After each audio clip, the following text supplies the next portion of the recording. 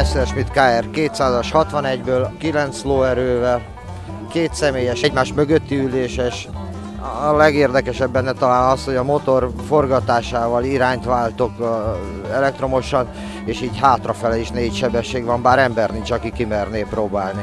Tehát a feladat a következő, ketten be fogunk mászni az autóba, és általában nekem is el kell férnem 190 centi magasságommal.